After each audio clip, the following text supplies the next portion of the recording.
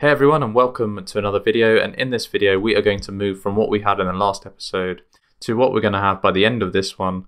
I'm going to add this plus button at the top of our challenges screen and when the user taps on it we're going to bring up this create challenge screen and we're going to be able to create a challenge and then it will appear in our challenge list here. So let's go ahead and get started and the first thing we are going to do is come to our challenge list view here and we're going to add our plus icon. So scroll down to where we've got the navigation title in our main content view here. And on the scroll view, we're going to type dot navigation bar items trailing. And then in our trailing, we're going to have a button. And this button is going to be action and label like this. And our action is going to have a view model dot send action. And we're going to create a create action there. Just comment that out for now.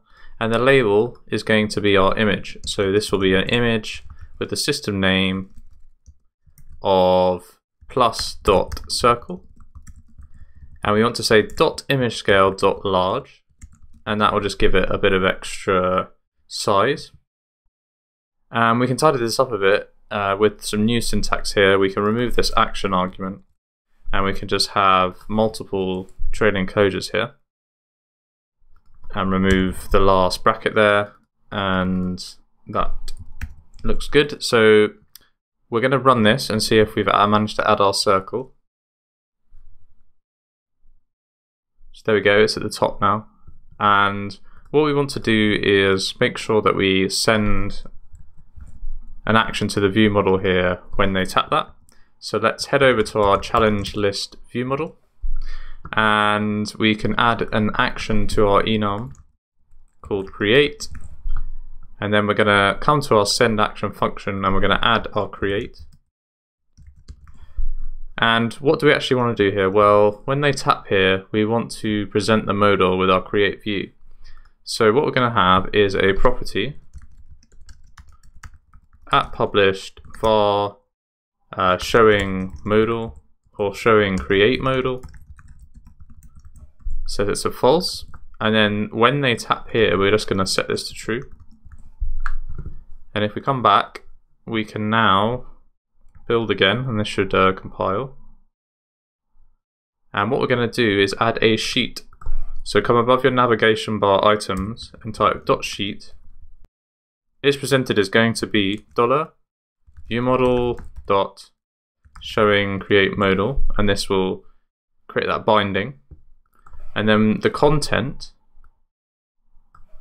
of our sheet is going to be a create view. And if we run this now this should trigger when we tap our plus circle which it does.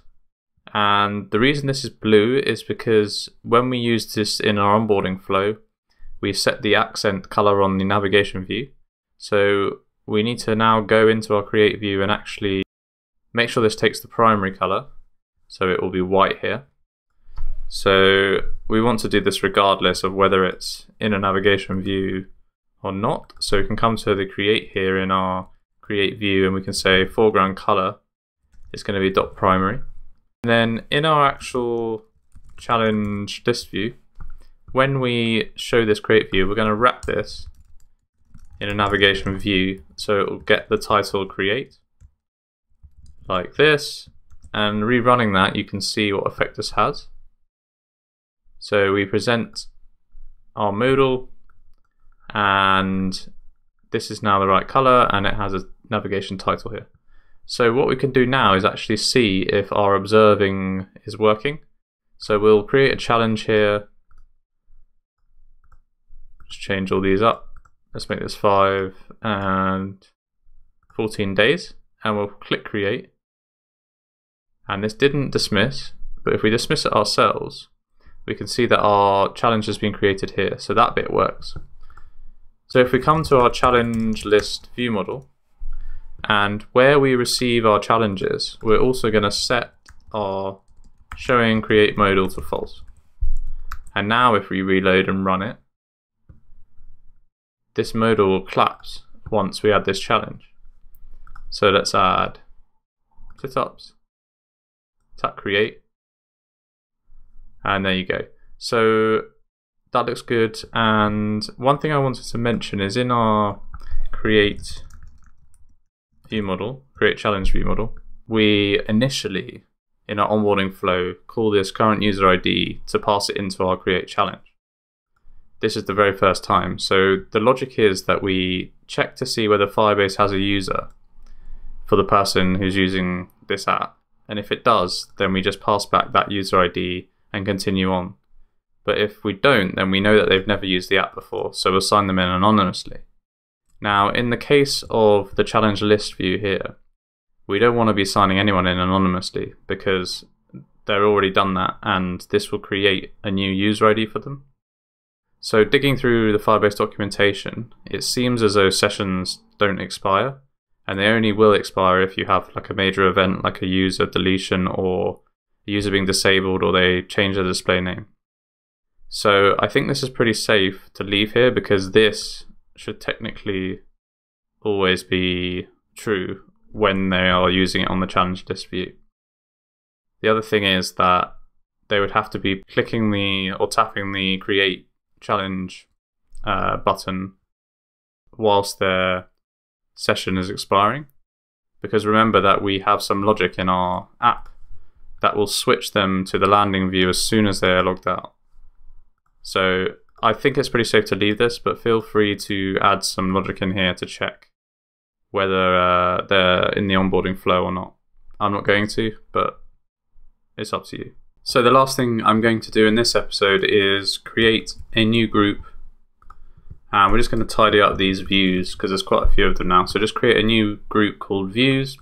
And we're going to drag over all of our views like so into our new group. And we can do the rest as well. Let's uh, let's create a group for extensions.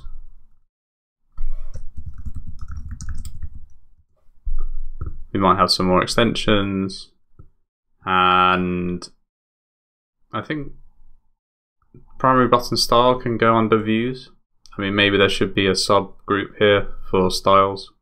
But I think that's fine for now and error can go under errors, I guess. We probably won't have any more of these, but just makes it a bit tidier.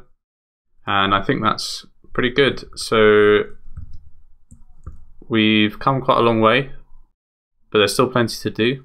So I will see you in the next one. And if you like this, please subscribe if you haven't already, or give the video a like. It really helps out and I'll see you for the next one.